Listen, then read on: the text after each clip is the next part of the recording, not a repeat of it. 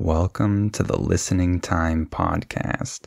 Hey, everybody, this is Connor, and you're listening to episode 106 of the Listening Time Podcast.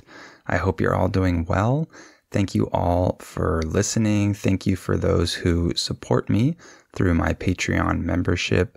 I really appreciate your support. If you're listening to this and you like this content and you want to help me out and support this podcast, then please consider becoming a member and supporting this podcast. And you'll get some different types of exclusive content depending on which level you join. And specifically, if you want my advanced episodes, then you can become a listening time family member and you'll get two new advanced episodes every month where I speak fast at normal speed.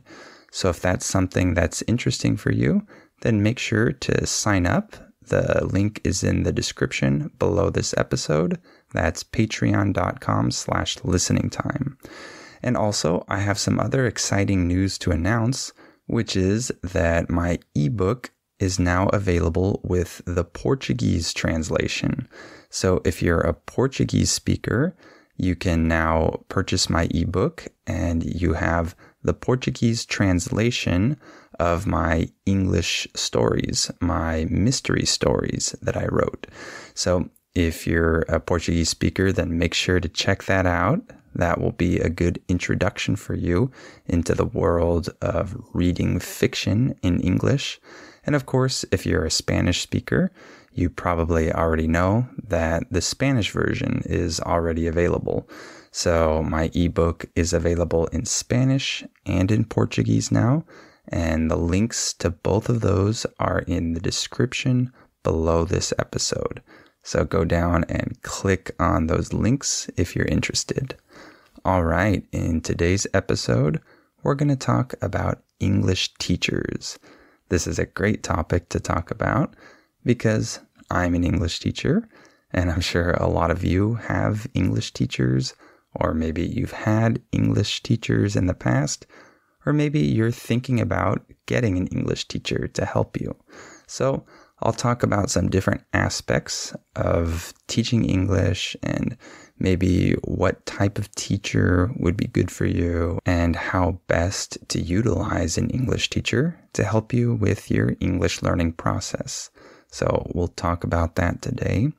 Before we get started, remember that you have the transcript for this episode that's in the description below.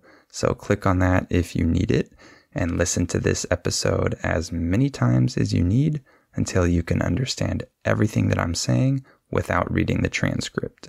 And if you like this podcast, please give it a five star rating and please share it with any other English learners that you know. All right, let's get started. Are your ears ready? You know what time it is. It's listening time. Okay, let's talk about English teachers. So, I'm going to talk about some negative aspects of English teachers, but then, of course, I'll talk about the positives as well. But I want to start with the negatives because I want to uh, clear up some misconceptions about English teachers. The word misconception refers to some idea that people have that isn't quite correct. It's a misconception. So, the main misconception about English teachers is that you need an English teacher to teach you English so that you can learn the language. And of course, English teachers can be very helpful. However, you don't necessarily need an English teacher in order to get better at English. Okay. I know for some of you that might sound strange since I'm technically an English teacher and I still do give some classes. By the way, I'm giving fewer and fewer classes over time. I'm reducing my availability. So I probably don't have availability. I'm saying this because a lot of people ask me about this, but unfortunately, I don't really have much availability anymore. Um, but back to my main point, uh, I'm uh, talking about how English teachers aren't 100% necessary if you can make use of other resources. Okay.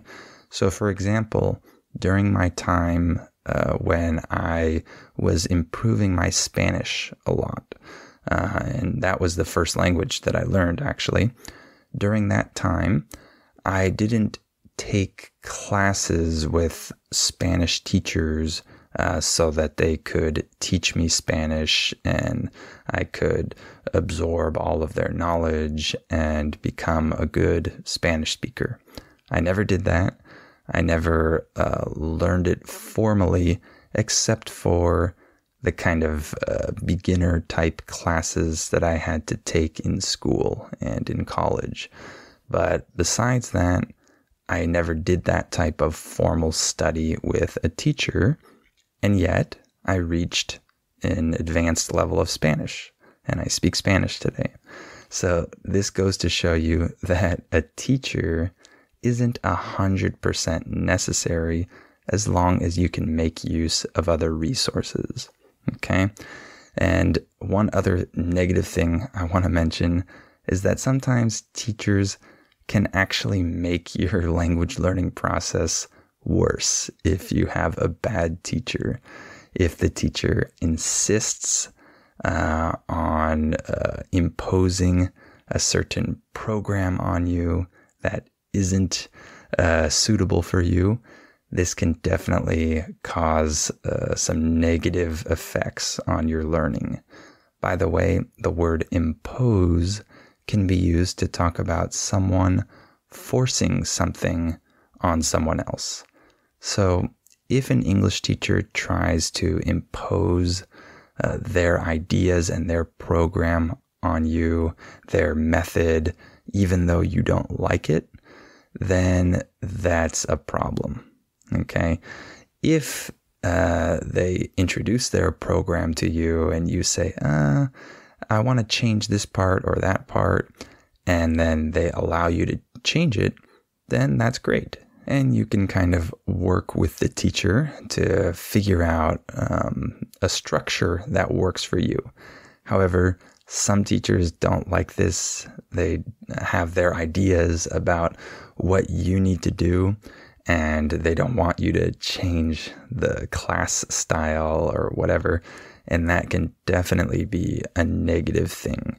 So, those are a couple negative things that I wanted to mention before I talk about uh, the benefits of having a, an English teacher. Okay. So, even though teachers aren't 100% necessary, they can be beneficial if you um, kind of go into your English classes with the right mentality and if um, they offer you uh, what's useful. Okay, so let me talk about some of those things that I think are useful that teachers can give you. So I have four things that I wrote down here that I recommend that you use teachers for. Okay. So, number one, I think you can use an English teacher to give you some relevant, engaging input. Remember that input refers to listening and reading. So, when you're absorbing, when you're taking in the content, this is input versus output, which is speaking and writing. So, using a teacher, you can get very relevant and engaging input. By the way, the word engaging means that something is very interesting. It attracts you and draws you in. It interests you. It's engaging. So, this type of input is probably the most interesting. And I talk a lot about having interesting input I always mention that you should look for videos or podcasts or whatever that really interest you and that you would listen to in your own language. And I always say that that's the best type of input to use. However, there's one type of input that can be even more engaging, which is the input that you get from a conversation with an English teacher or any English native speaker. So, uh, this is really engaging because you're talking to them and getting responses, and you're involved in the conversation, and you're kind of um, helping to control the direction of the conversation, and you can ask things that are interesting to you or relevant to you.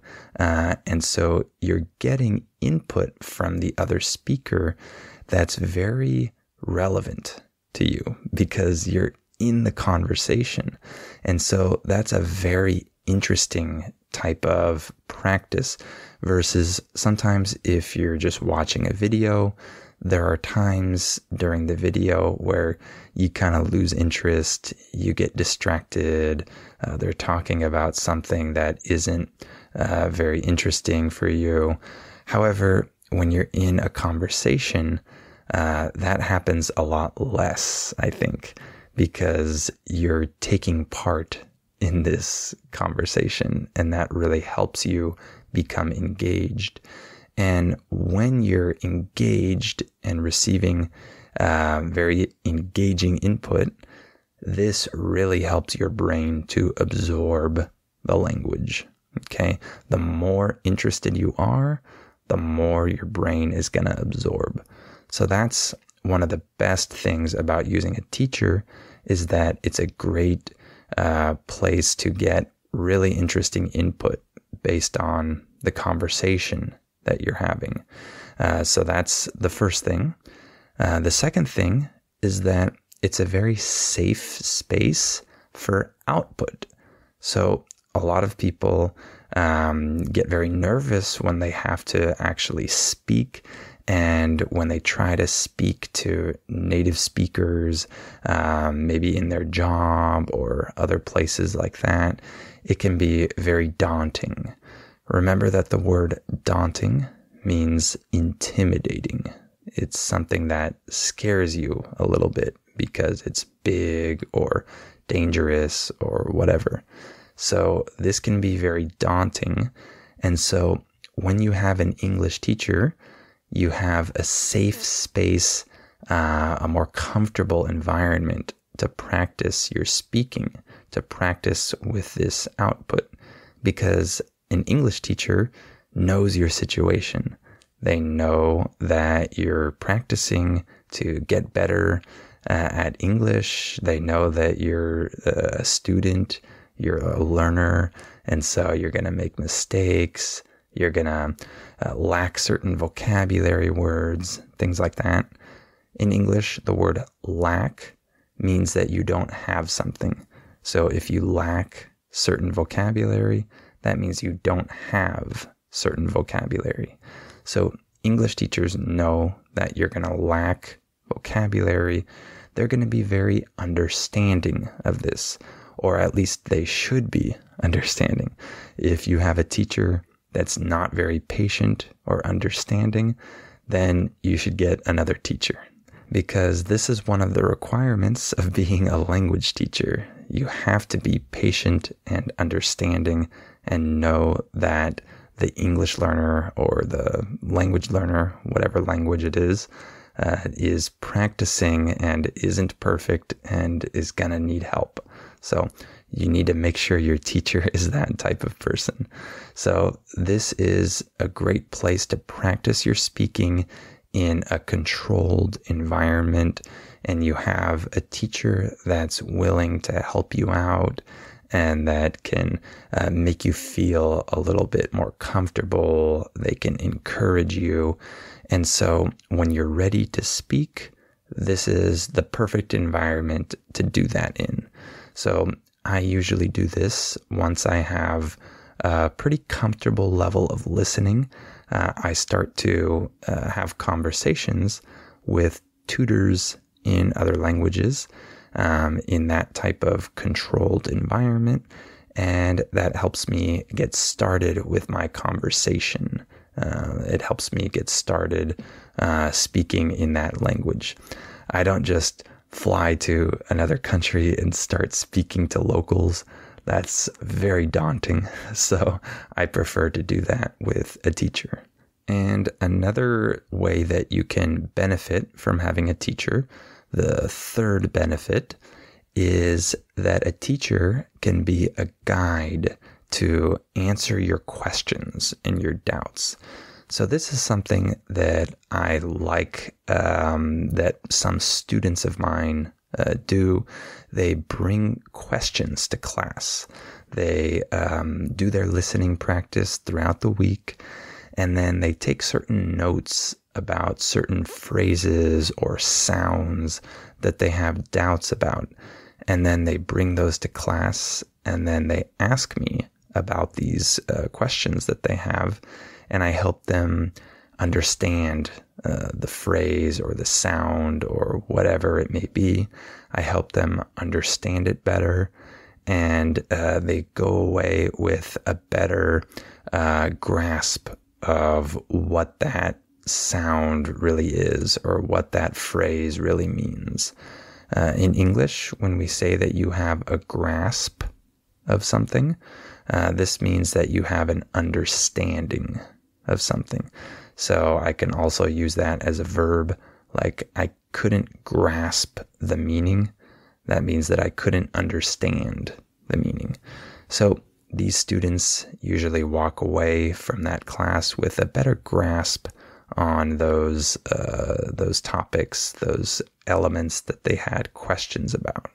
So that can be a very useful thing uh, regarding English teachers is that you can ask them your questions.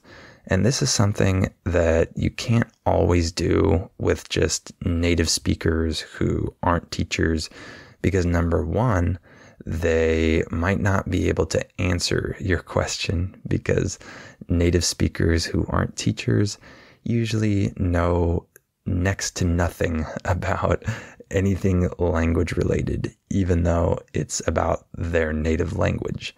Uh, by the way, in English, we can say next to nothing. This just means almost nothing, almost zero. So, native speakers usually know next to nothing about their own language. So, that can be an issue.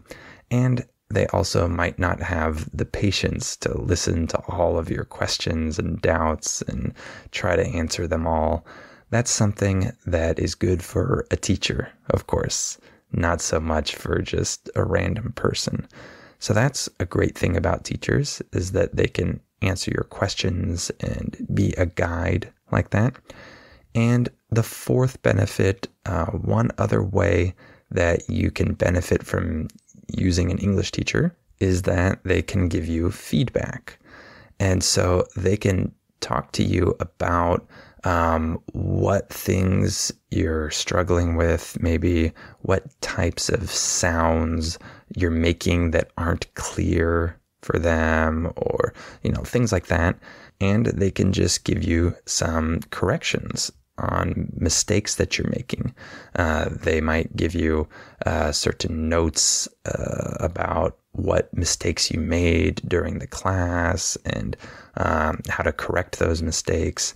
And so that's something that I like to do in my classes. I like to give a little report um, that has some of the most notable mistakes that the student made and then the corrections to those mistakes. And then I give them that at the end of the class so that they can uh, see those mistakes and we can spend a few minutes looking over um, some of their errors and uh, seeing the corrections uh, to those errors. So that's something that can be very helpful as well. A lot of students really like that. They like to receive this little report, this little feedback on their English, their conversation skills. So that's something that can be very beneficial as well. So let me just talk a little bit about what the ideal class structure might look like, in my opinion. Not everyone will agree with me on this, of course, but for me, what I would like as a student, as a language learner, uh, is the following. I think that you can maybe start the class with the English teacher. Um, you can start the class with your questions from the week. Like I mentioned earlier, uh, when you do your listening practice throughout the week, if there are any questions that you have that you can't figure out on your own or just from using online resources, if there are any questions that you have uh, that you want to ask your teacher, then you should bring those to class and maybe you can start the class with those questions from the week. So you can start with that and the teacher can help to resolve your doubts. And then after that, you can go on to uh, the input and output part of the class. So usually this will be conversation. Um, besides conversation, I think there is one other activity that can be useful for input, uh, which is article reading or just reading any type of text. Uh, some students like to do this with me, where we read through an article together, and um, this is good practice for their pronunciation, for their vocabulary, because they uh, come across new words in the article, and I help them understand these words, and uh, it helps them uh, with those uh, technical aspects, uh, but it's still good input because reading is an awesome way uh, to get input in another language. So some people like to add a little bit of reading here, but you don't have to. You can just have conversation, um, or you can have both. But these are the main two things that I would like to do with a teacher mostly conversation and maybe a little reading, depending on my mood. So that should be uh, the majority of the class. So after your questions, then you can have the conversation about different topics. I think you should choose different topics each time. And then don't focus on error correction during the conversation. You can do this for the big errors, and you can do this for errors that are a little bit more relevant to the meaning of what you're saying. So if the teacher notices that it was hard to understand a sentence uh, that you said, then they should kind of interject and tell you about that.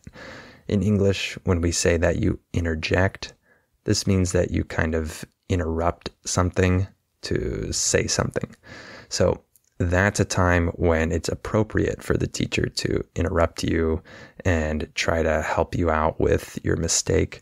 Uh, so, big mistakes like that uh, can be corrected during the conversation, of course. But all of the little mistakes that you're making, I don't think a teacher should try to correct you as you're speaking every time you make a mistake that's usually a terrible way to go through a conversation uh, because you'll be nervous about making mistakes. You'll be anticipating uh, the teacher correcting you. It's just really stressful. So I would prefer not to do that as a teacher or as a student. And so uh, you should just have the conversation and it should be fun and engaging and you can do some reading if you'd like. And then at the end, you can get some feedback from the teacher. Um, in this part of the class, they can go over the other mistakes. Um, eh, they can give you a little report, like I give, for example, where they show you some of your mistakes and the corrections to those mistakes. And they can just maybe give you some encouragement, uh, give you some tips on what you might want to do, things like that, right? That can be at the end of the class. Um, but this part might not even be 100% necessary if you just want to have a conversation, ask your questions, maybe read. That's enough. You don't necessarily always need feedback like this, but that can be something helpful. And lastly, I just want to remind you that your English teacher does not give you fluency uh, and they do not give you accuracy. Okay. You become fluent and accurate through input, through hearing the same phrases again and again and again. And then you get more accuracy and fluency also through conversation practice, of course, just getting practice with your speaking. So, those two things um, will eventually help you become more fluent and accurate. But the teacher does not give you this. Okay.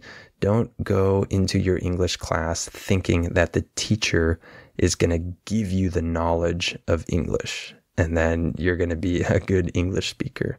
That's not how it works. Okay. You develop fluency and you develop accuracy through a lot of input and through conversation practice. And of course, asking your questions and getting feedback, those things can also help. But really, the focus should be on getting a lot of interesting, engaging input and getting some interesting and engaging conversation practice when you're ready. Okay? All right, that's all for today. We'll stop there. I hope this episode was interesting for you. Remember that you can purchase the Spanish and the Portuguese versions of my ebook now. So the links are in the episode description below this episode. And the link to join my membership is also there. So if you want to support me or if you want that extra content like the advanced episodes, you can check that out. And of course, you have the transcript down there as well. And please share this podcast with anyone else you know who's learning English. And please give it a five star rating. All right. Thank you for listening to this episode. And I'll talk to you on the next episode of Listening Time.